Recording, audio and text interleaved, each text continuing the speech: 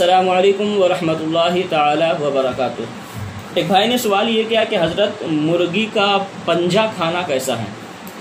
मुर्गी जो होती है, उसका पंजा हम खा सकते हैं कि नहीं खा सकते हैं? देखिए, दुनिया के अंदर बड़े का जो पाया होता है, पंजा होता है, लोग बहुत शौक से खाते हैं। बकरे का जो पाया होता है, पंजा होता है, लोग बहुत जो है, वो शौक से खाते हैं, पसंद भी करते हैं।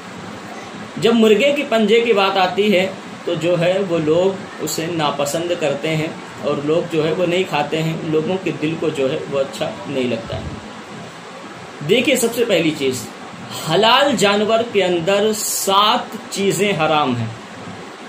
जो हलाल जानवर हैं, हलाल जानवर के अंदर सात चीज़ें हराम हैं। आइए हम जानते हैं कि वो सात चीज़ें क्या हैं। सबसे पहली चीज़, बहता हुआ खून, ये भी हराम है। जो जानवर को ज़िबा करते हैं, जो खून बहता है वो नापाक होता है और नापाक की सूरत में जो है वो हराम है। दूसरी चीज़ ये कि आलय तनासुल, जिसे हम पेनिस भी कहते हैं, ये भी हराम है। कपूरे, ये भी हराम है।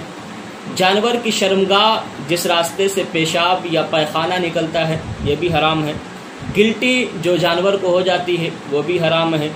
मसाना, ये भी हराम है। और पित्ता, ये भी हराम है। तो ये सात चीज़ें हैं जो हलाल जानवर के अंदर भी जो है, वो हराम है। तो इन सात चीज़ों में पंजे का ज़िक्र नहीं किया गया है। तो इससे पता चलता है कि मुर्गे का पंजा हो, या बकरे का हो, या बड़े का हो, ये तीनों के पंजे खाना जायज़ है, दुरुस्त है। हाँ बाद लोगों को नागवार गुजरता है, पसंद नहीं आता है, उन्हें अच्छा नहीं लगता है तो वो ठीक है, वो आपकी मर्ज़ी है। कि आपको पसंद नहीं आता है तो आप फतवा तो ना दें कि हाँ जो है वो जायज़ नहीं है। आपको नहीं पसंद आता है, आपके दिल को गवारा नहीं होता है तो आप ना खाएँ। लेकिन आप शरीयत पर फतवा तो न लगाएँ कि नहीं, हम नहीं खाते हैं तो ये जायज़ ही नहीं है। देखिए, मुर्गे का पंजा बिला शुबा, बिल इत्तेफाक जो है, वो जायज़ है, दुरुस्त है। अगर किसी के दिल को नागवार गुजरता है तो वो ना खाए, लेकिन वो दूसरों पर फतवा ना लगाए। मुर्गे का पंजा हर ज़रूरत के अंदर जो है, वो जायज़ है।